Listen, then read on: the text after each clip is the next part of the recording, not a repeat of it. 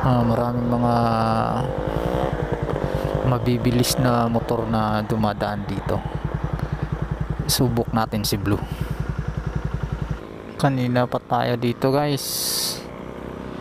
Ah, hindi tayo nakatsempo. Uuwi na lang siguro tayo.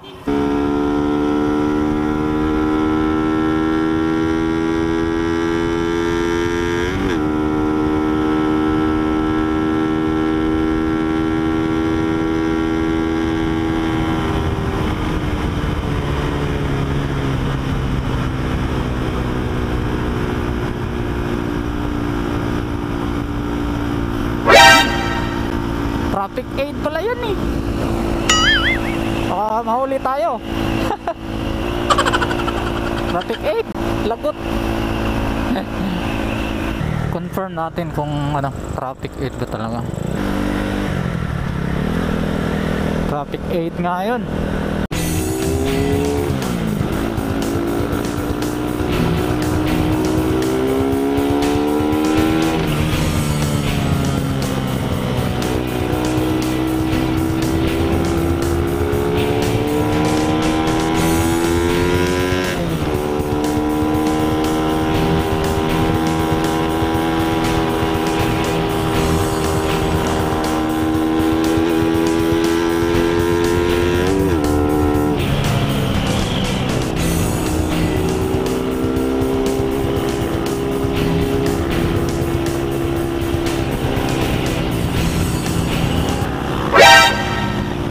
A great time. Ah, 15. Itong gusto ko.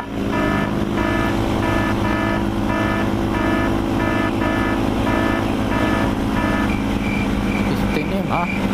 Wala ka, sundalo pala to. I'm joking. Stop, stop, stop. Sundalo, guys. Stop the brake. Stop. Woo! Huwag tayong bumuntot. Sundalo. Yee! Sundalo.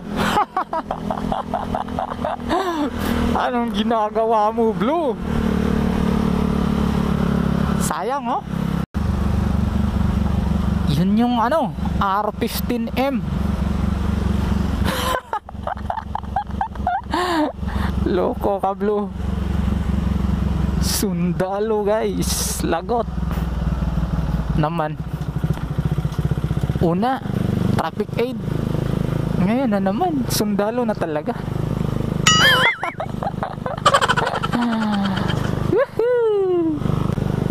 Sayang naman, no? R15. Wow. Yung pantalon tsaka patibag. Sundalo, sundalo. Nakaw. Balik tayo guys. Di na natin pinatulan yung ano. Yung naka KLX. Kasi ang gusto ko yung ano R15. Magaling kang Mm, kupal Magkasama ka. yata yung dalawa eh. Para yung sundalo yun. Lagot tayo. Lagot ka blue. Madaling matandaan yung pormahan ni Blue eh. Lagot tayo pag nag-checkpoint yun. Dumadaan pa naman kami doon. What a tragic night. okay lang yun.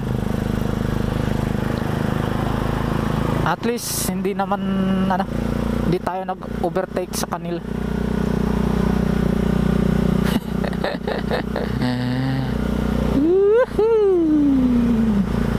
Ito nga pala yung flyover ng Tagum City. Nasa 1.7 yung haba nito guys. So medyo malayo-layo siya. Ito yung longest flyover ng Mindanao.